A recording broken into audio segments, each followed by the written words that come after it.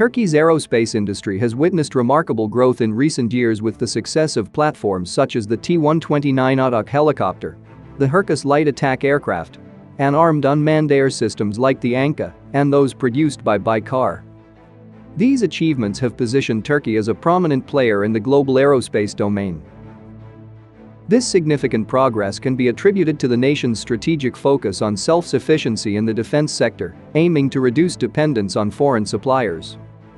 Arguably, one of the most ambitious projects to date is the development of an advanced jet trainer, which recently completed its maiden flight. So, in this video, let's take a first look at Turkey's first supersonic jet, the Hürjet. The Hürjet is a single-engine, tandem-seat advanced trainer developed and manufactured by Turkish Aerospace Industries. It is intended to replace the Northrop T-38 Talon and supplement the F-16s in close air support missions. A naval variant is also being considered for potential operation from the Turkish Navy's hybrid drone carrier assault vessel, the TCG Anadolu. In April this year, the Hürjet made its maiden flight, marking a significant milestone for the Turkish aerospace industry. Departing from Murted Air Base near Ankara, an unpainted prototype completed a 26-minute maiden voyage, reaching 14,000 feet and a speed of around 460 kilometers per hour.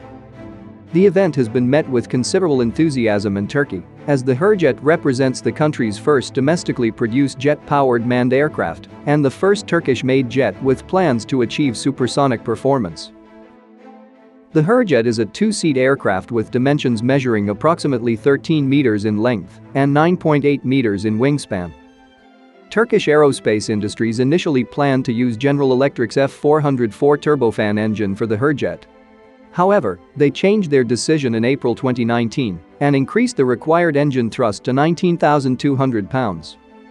Initially considering Klimov's RD-93 turbofan engine, they later signed a letter of intent with Eurojet Turbo during the Paris Air Show 2019 for the delivery of EJ200 turbofan engines in a single-engine configuration. The EJ200 engine, originally designed for the twin-engine Eurofighter Typhoon, required significant modifications to be used as a single engine in the Hurjet.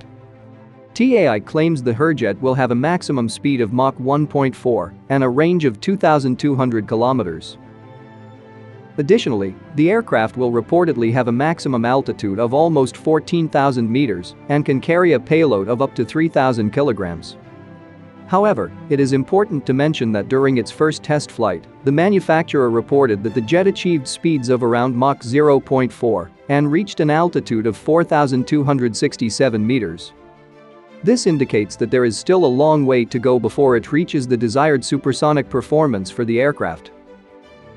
The Hürjet aircraft will feature modern avionics, including an advanced electronic flight instrument system. These avionics are mostly derived from the technology used in the Hurkus aircraft. According to some reports, TAI also plans to launch an armed version of the Hürjet. This jet engine version of the turboprop Hurkus will be equipped with four underwing stations and wingtip rails, offering a range of armament options from Turkish manufacturers, including laser-guided air-to-surface missiles, the Teber 81 and 82 laser-guided bombs, various inertial guided bombs, and provision for a 20mm gun pod. TAI, which began work on the Hürjet project in 2017, has set an ambitious schedule for the future, aiming to achieve full-rate production starting in 2027. While Turkey's armed forces have already expressed interest in acquiring the Hürjet, final purchase agreements with TAI have yet to be formalized. There were some reports of an export variant also being under development. So, what do you think? Share your thoughts in the comments below. And if you enjoyed this video, make sure to give it a thumbs up and don't forget to subscribe to our channel for more content.